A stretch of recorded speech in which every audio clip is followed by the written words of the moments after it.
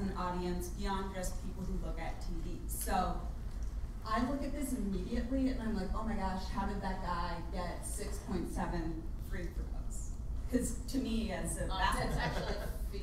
I, I know, I know. um, and it- the same deal, somebody had a graphic and it was a baseball thing and whatever, HRs, and I was like, I cannot believe that guy played for 280 hours. You know, like it, Oh, I assumed that he worked for Human Resources. that turned out. Um, so, and that's something else I've in kind of re-familiarizing myself, or just trying to familiarize myself at all with um, hockey analytics stuff, is that uh, one thing you always want to think about is the accessibility of your visualization to people who are new to the new to the scene.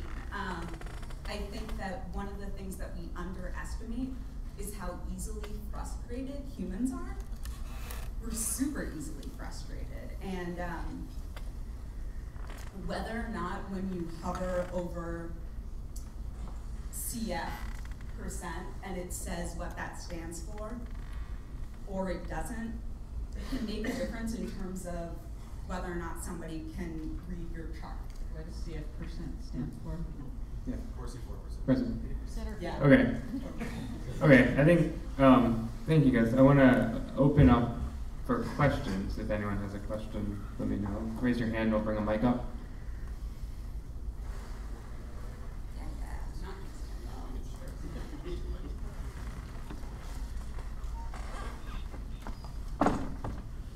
Right, so uh, I'm very interested in um, the the real time, I guess, uh, time domain charts of you know basketball players moving around or baseball players tracking their velocities. So if you can talk about it, how is that data gotten? Do you, do you watch video feeds and try to estimate that, or do you have sensors on players, or I guess how does that work? Um, well, for baseball, there is there new technology, the new technology that's come out, um, and literally it's as of last season. So 2015 was the first time that that the data are out there, and they are still any player tracking data is still proprietary. So um, you may see those lines, but it's only being released by MLB, and they're not giving you enough information to do reasonable analysis. Um, the technology there, StatCast includes two things. One is something called TrackMan, which is actually tracking the ball off the bat, and um, the one Picasso that I showed you was a mistake on their part, and they've never shown one since. They also can't track throw, which means I can tell people about that now because they put it up on Twitter. so, at least I think so. But um, the other part uh, where you're seeing the players moving, the technology is something called HIGO, which does in fact, and I'm not entirely sure how this works, it basically gets the center of mass on any given player. So you're not getting things like limbs or whatever, you're just getting where the player is roughly. I do not know what the uncertainty is on that. I would assume it's of the order of a few feet, but um, you know, it's not, you can't treat it as a point source. Um, so does that answer your question for the baseball? So, so I guess where where is the data coming from? Is it a video or like? Um, it is visual, but you're getting stuff that is basically, you know, point coordinates. So kind of think X, Y, T type stuff. Um, in, in dimensions. thank you oh the- well, I mean, that is, the the source tech only gives you location stuff. You, you presumably can map it with video, and I'm sure there are teams that are doing it, because you wanna see how, um, uh, you wanna see how, for instance, how accurate. If, if, if you are discovering anomalies in your data, you obviously wanna go back to video and see, okay, did that really happen, or is it that there's something wrong, either with the tech or the way the software has been written such that it's being interpreted. And I know certainly with the pitch tracking, there are absolutely issues that they've discovered that come from the instrumentation itself, and the fact that the uncertainty of the pointing within the instrumentation was not being taken into account. And now that it is, I think some teams are doing better.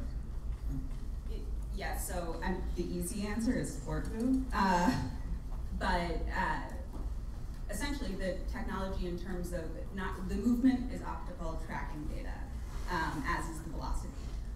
But then you get into uh, players' facial data that has things like categorizing uh, shots under pressure. And um, what's going on behind the scenes there, I'm not privy to all of it, but uh, a lot of it is semi-supervised machine learning. So you set up parameters uh, that kind of sort of make sense theoretically, um, and then you have humans involved who, including people who just do analytics and actually look at what's being called what, and then they go back and look at the video and it's wrong. But in terms of the machine learning, um, it's semi-supervised, so you have people who are correcting uh, play categorizations or state types and stuff like that. I don't know if that answers your question. No, I, yeah, I appreciate that. So I'm, I'm a machine learning person, so I'm interested. Yeah, there, there's definitely machine learning involved, unfortunately, it's where all the sausage is made. So, uh, we can't go into it really, either because they don't tell us or because we can't talk about it. Uh, when you guys deliver a visual to your audience, how confident are you that the audience will say, I get it? And if they don't, um, do you usually have a plan B or, um, all right, well, that is what I have? Uh, uh, it Depends sensitively on how much sleep I have. That, so, I, mean, that, the, the really short version is you never be totally sure. You, you know, every time you, every time you try to tell anything to anybody, you never quite know if it's gonna get across. And one of the things that makes data visualization extremely appealing to me is that the communication that you send out does not always have to be of the form, here is a fact and I am going to tell you. It doesn't have to be, you know, did you hear about that thing that happened? It can be more like, here, look at this.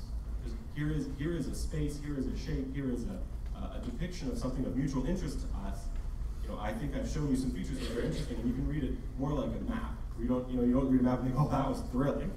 You know, you, you like, it, it's a reference document, but it's not, you know, it, but it's a reference document in a, in a particular purpose in a particular sphere. So sometimes you feel very confident that the thing that you're putting in front of somebody is something which is of mutual interest to you and that person. So in that sense, you can be very confident that you're going to get some influence. You know, you, especially for things where you where you know sometimes you're you're hitting people's intuitions that are extremely strong that have been honed since birth. Sometimes you're hitting people's intuitions that are that are much weaker, that, you know, and you're not nearly so sure. And and so you do, I think you just have to be. Um, I mean, the backup plan is always, for me at least, is always just to talk with people who want to talk. To be ready to engage with people who are interested in engaging with you, and you know, and be prepared to explain and be prepared to say, you know, all the time people say, well, why did you do this like this? I say, well, I did that to accommodate people who are colorblind. The fact that you're not colorblind is not relevant to the conversation, but it means I'm not going to change my database to please you, because it's already been changed to please other people. And and so you know, if you can communicate those things in a way that's that's kind, you know, that doesn't require blowing people off, then you find actually that, that you get a lot of give and take. And that's and what Mara was saying a minute ago about people being frustrated is that the it does happen extremely easily, and and you need to have a willingness to work through that frustration. You know, it's not the same the same sort of thing when you keep you know you read a page of text three times and you don't get it, and eventually you just say, "Oh, what the hell with this?" You know, you you need to have some sort of uh, I don't know if thick-skinned is the phrase, but, but some sort of willingness to engage that lets you get over that frustration, uh, and and a great deal of written documentation and accepting the fact that people learn in different ways. So I have most of my visualizations, the complicated ones, have text explainers that just say what I would say to somebody if they ask me what's going on here. Some people don't like them, some people don't need them, but many people adore them. So In, in my case, uh, I actually start, I mean, I, I, let's put it this way, I, I have a set of, I don't know if you call them collaborators, people where I can get feedback without violating NDAs. Um, and they happen to be things like scouts and coaches or whatever, and I will come up with an idea, and sometimes it's just a pencil sketch, because I don't wanna go through and have to write the reams of code. Uh, and I'll go to them and I'll say, this is what I've got. I think I'm describing this. Am I actually describing this? And does it mean anything to you? And I get feedback, and there's basically a feedback loop that goes through um, until both he, they're always he, and I are comfortable with um, what's being produced, at which point the visualization and the technique is something that I'll then put out there. And so that's how you're getting things like the range map that I showed you. Um, and I can promise you I have other stuff out there that's been well received. Um, but that's about all. So the, Um, oh, sorry, go ahead. Oh, yeah, no, I, so, one of the reasons you won't see a lot of my work up here is my visualizations are never done. Um, but that doesn't mean that I never put them out there. One of the reasons I really like R and Python, I tend to use R more, but I think they're all great, is that you have this reproducible research pipeline, um, which is, it's not just about other people reproducing it, it's sometimes you need to reproduce it. Um, and that reproduction might be because the style of data visualization you were using didn't really work for your audience, or some other people want to see it another way. Um, for me, I actually think that there's a huge benefit that to that in terms of like human behavior. I think people are less defensive when they know, like, okay, cool, I, I'll I'll visualize this with a different type of geometry, press play, same data, or you missed this data, run this analysis with that. Fine, pull it down, run it again.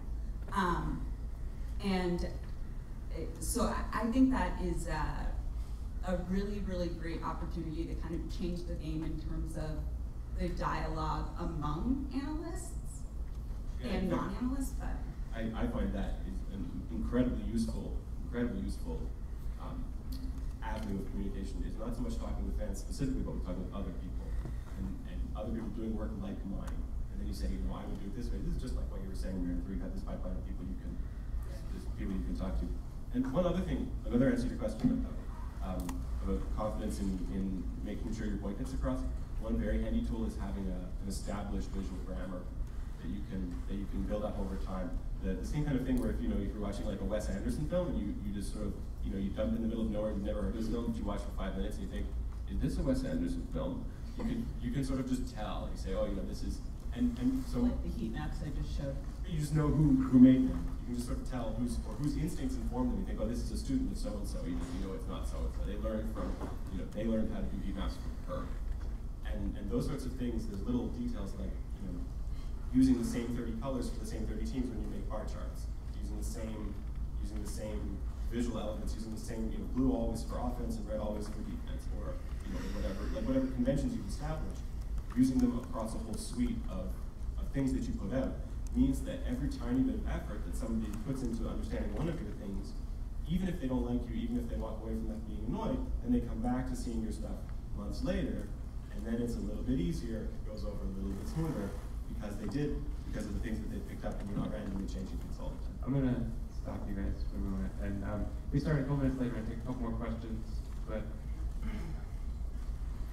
Um, do you currently think that sports commentators, specifically play-by-play and color commentary, but also other analysts, use the information that you guys give them effectively? And if not, how do you think they could do it more effectively? Can I start with this? Um, short answer, no. Um, but I don't actually think that's the commentator's fault. Uh, if you actually speak to the broadcasters, this is where the dialogue comes in. It needs to start from the broadcasters. I've absolutely seen situations and talked to people where it, it's really obvious that they want numbers and visualizations that describe certain metric. We can bitch about that if you want later. Um, and it almost feels like, you know, Harold Reynolds or someone like that. Sorry, just if you know baseball, that's like a laugh line right there. Um, is uh, that he's clearly reading a cue card that has some particular numerical analytic result, and it means nothing to him, and the only reason that he's saying it's because someone told him to. So it really, really needs to be improved. Yeah, you get you get this sort of um, trivia effect that, that can really infiltrate broadcasting, especially. And and I think you know, of course, that's because the, the methodology there is is you know a guy or a pair of guys interacting with a computer, coming up with little tidbits, and they have to be kept extremely small because they have to be internalized by a man doing his job. You know, by talking into a microphone. The, and and you need you need a whole pipeline which is connected better, where where you can and, and Meredith exactly right that has to come from the broadcasters themselves. You know, the question you want to answer is, what kinds of information do you want at your fingertips when you're broadcasting? And that phrase, "at your fingertips," is, is a code word that means visualized. Uh, you know, you take all this information and you put it in a graphic, and now all of a sudden you do have something that you can internalize, you know, immediately. And, and oftentimes those are graphics that might not ever see